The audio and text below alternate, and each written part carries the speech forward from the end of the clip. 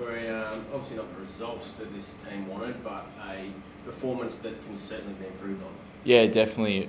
You know, um, the scoreboard's not what we wanted and not what we went into at the start of that game, obviously, but we did take a few things out of it. We did some good things and we did some um, not so good things. So we looked at them um, in our review and we know what we can fix. And, you know, um, the more we looked at it, the sort of more positive we got and know that they're little things that we need to fix and um, we just need to be more consistent over the whole 80 minutes. I know it's obviously hard because everyone expects to come out and go, dang, yeah, we want to win straight away. But is it a sort of realisation and sort of the mindset resets to know that this will take time?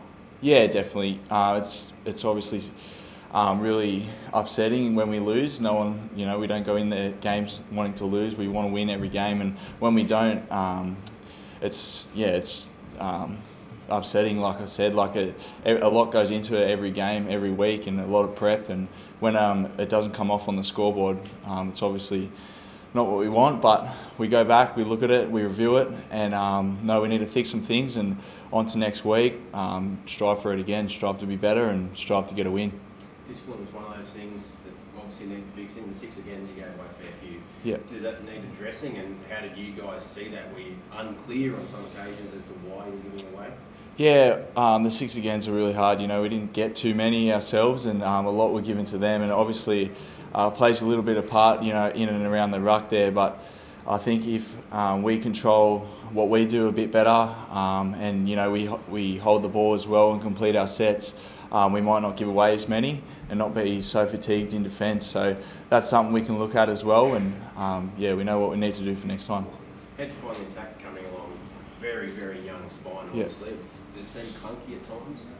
Oh, I think um, not not so much clunky. You know, we we work um, scenarios at training, and we know what we need to do in different situations. But you know, under fatigue and under game, sometimes um, it can be like that. But we all know what we need to do, and it's just knowing our role in attack. And I think, like you said, we are a young side, and a lot of us haven't played together. And it was our first game playing together on the weekend. But we know that'll come, like you said. And um, the more we play together, um, the better we'll get. So test this week up against last year's minor premiers and obviously a big one for Baz. Yeah, exactly. Uh, it is a big week, and um, Baz will have us ready. He'll have us prepared as as much as he can, and we're going to prepare as good as we can, like every week.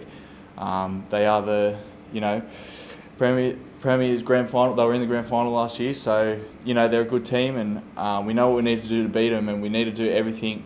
Um, we can for 80 minutes. Um, yeah, we can't slack off in any, any area in defence and attack, and you know, if we do that, we'll give ourselves every chance, and if we get an even share of the ball, um, we'll be right up there. I know it's only early in the week, but you've known Trent for quite some time. Has he seen any different this week coming up against the old club? Uh, not really, no. I think um, you know it's only only early during the week. We've just finished our review of Newcastle. Um, I'm sure he'll want to, you know, get a win definitely against Penrith, and we all do. So nothing's changed. He'll have us prepared like every week, as, as good as he can and um, we'll do our best, um, like every week, to win. Uh, just another, like Baz, obviously not too happy with the, the penalty shouts from the referee. Just wondering how you saw it. Um, oh yeah, like uh, you know, I find the game a lot faster than um, last year. I don't know if that they did give away a fair few penalties, um, but I don't think you know that wasn't why we lost. Uh, we know we need to fix some things ourselves, and the, the penalty count doesn't help, but um, that wasn't why we lost fair few drop balls as well. Can you put that down to the water before the game, or is it just a new attack and you know still getting used to each other? Uh, I think a bit of both there. There's, you know, there's no really excuses uh, for that, but it does happen. Um, and then when it does happen, I think we need to defend it better.